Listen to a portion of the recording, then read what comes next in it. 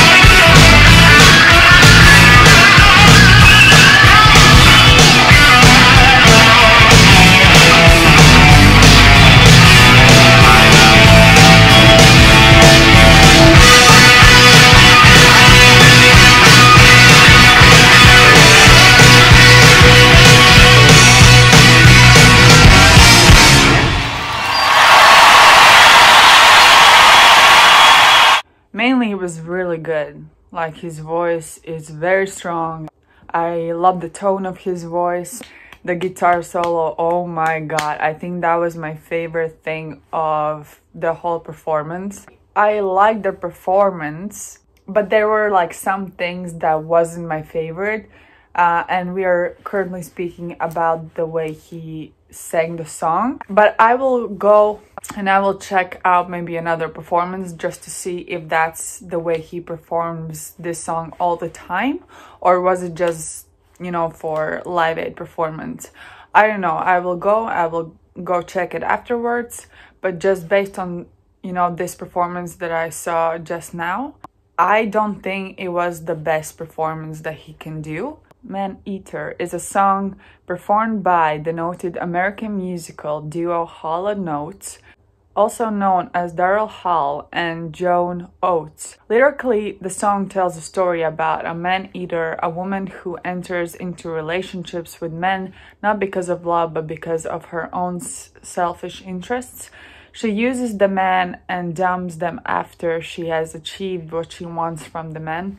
The song's storyline is pretty similar to the song Easy Lover by Philip Bailey and Phil Collins, another song of the same title, Maneater from singer Nelly Furtado. In the song, the narrator warns his listener to be careful of her because she can chew him up.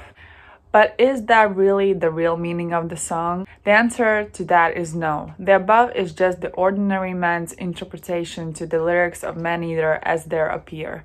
But there is more to the lyrics that meets the eyes. According to Daryl Hall, the lead vocalist and co-founder of Hall & Oates, while it is normal for listeners to conclude that Maneater's lyrics are about a woman, a man-eater, the song was written about New York City in 1980s, about things such as extensive greed and spoiled riches existing in the city. According to the singer, the song deliberately uses a female man-eater so that it could be more relatable to listeners. What a great song, truly. And I love the band itself very much. They have a lot of amazing songs in, and this is one of my favorite from them. So this is a new band that i haven't reacted on beforehand on my channel. So this is the first reaction video on hall & oates band and i'm very excited to see what other songs from them you would like me to react on next. So please let me know down below in comments. Thank you guys so much for watching. If you enjoyed this reaction then please like my video subscribe to my channel and until my next video. Bye guys